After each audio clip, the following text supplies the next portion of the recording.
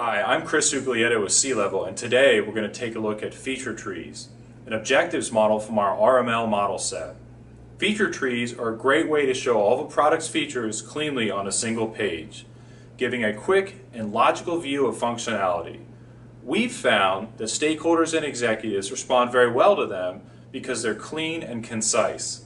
It's also a lot easier to identify missing or redundant features in this visual format than with traditional documentation.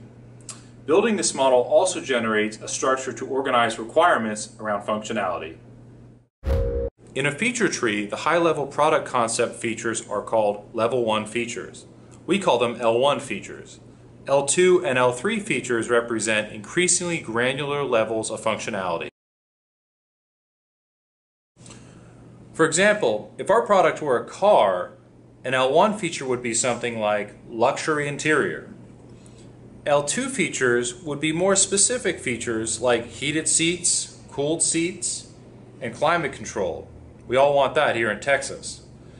An L3 feature would be more specific, something like automatic thermostat. As you can see, this is more granular.